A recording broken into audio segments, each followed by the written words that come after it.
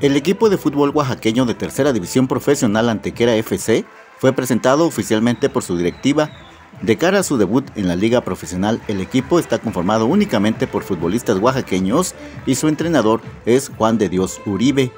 La directora general del equipo Antequera FC, Luz María Quintas Ordaz, abundó sobre este proyecto deportivo. De hecho, es un gran reto para, el club, eh, tomando en consideración todas las medidas, se planeó, se organizó y se lanzó este proyecto enfocado a los jóvenes para poder jalarlos y orientarlos a la educación deportiva. El director técnico, Juan de Dios Uribe, fue ovacionado y cobijado por sus seres queridos y quienes integran este proyecto tras el reciente fallecimiento de su esposa y su padre.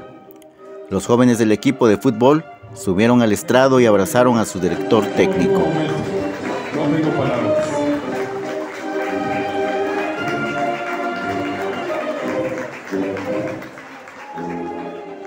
Juan de Dios Uribe dijo cuál es el principal objetivo de este equipo. Era el ver construido un proyecto para los oaxaqueños y hoy es una realidad. Ha sido un año devastador para, para mi persona. Primero el fallecimiento de mi suegro, posteriormente el de mi esposa Araceli García Montaño y el de mi padre recientemente pero todo eso me llena de fortaleza para seguir de pie.